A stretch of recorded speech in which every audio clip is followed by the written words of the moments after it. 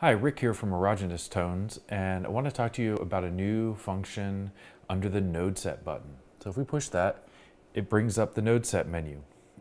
So right now, we have implemented the filter feature. So the first thing to note is that whatever current node set you have loaded will be highlighted in yellow. So we can go to any of these and hit select, and it will load up that node set. Now, let's say you want to filter some and let's say you want to only look at things that have feedback. So I'd push the filter button, I hit feedback. Green means to include. So I go back and now everything that we have has feedback in it. Now, the interesting thing is if we exit out, it won't leave the one that we're on, but the minute that we turn, now we're in that new list. And see if I go forward and backwards, it's just those ones. So if I go back in there and you can see which ones I have selected.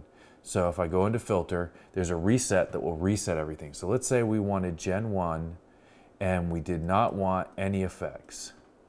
So uh, let's also get rid of uh, mix 1 and, uh, you know, we'll get rid of audio. So we're down to eight that you can see right here. So when we go back, it also shows you here what you have. And we can go down and we can, you know, select any of these and uh, see what they do.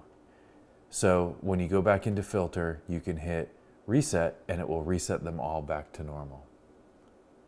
And we'll go out of there and exit out. So that is the new filter feature.